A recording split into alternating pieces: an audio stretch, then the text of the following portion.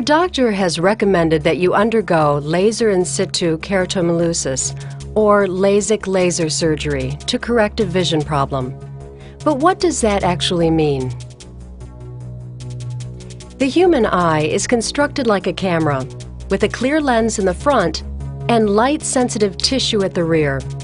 This tissue makes up the retina, which acts like photographic film. In an eye that has perfect vision, light rays passing through the pupil are focused by the lens to fall precisely at the center of the retina. There are many common problems that can affect the eye and prevent light rays from focusing properly on the retina. Three of these problems, myopia or nearsightedness, hyperopia or farsightedness, and astigmatism, can often be corrected or reduced with the use of LASIK laser surgery. Myopia, or nearsightedness, occurs when the shape of the eye is too long or the curve of the cornea is too extreme. In this case, light rays are focused on a point in front of the retina instead of on the retina itself. Hyperopia, or farsightedness, occurs when the shape of the eye is too short. In this case, light rays are focused on a point behind the retina. Astigmatism occurs when the cornea is unevenly curved, causing light rays to fall off-center or not to focus properly at all.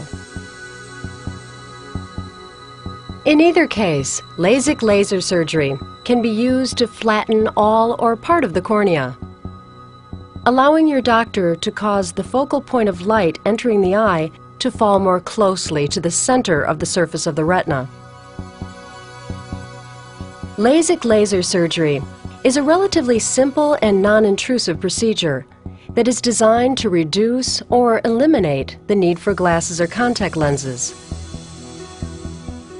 LASIK laser surgery generally does not have any effect on the patient's overall health, and there are no risks in choosing not to have the surgery. On the day of your operation, you will be asked to put on a surgical gown. You may receive a sedative by mouth, and an intravenous line may be put in. You will then be transferred to the operating table. And you'll be given an anesthetic in the form of eye drops. And a suction ring will be placed on the eye to prevent movement and to maintain pressure within the eye.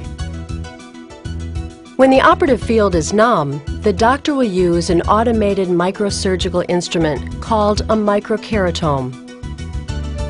This tiny instrument will carefully create a thin corneal flap which remains hinged to the eye. Underneath this flap, the inner layer of the cornea, called the stroma, is exposed. Next, your doctor will use a computer to control pulses of cool laser light. These pulses will delicately remove microscopically thin layers of cells from the stroma. By removing tissue in this manner, your doctor will tailor the new shape of your cornea according to the exact nature of your vision problem. The entire procedure usually takes about five minutes and is painless. The corneal flap is then closed and the surface is rinsed. Following the surgery, you'll be given protective contact lenses to wear for a few days while the corneal flap heals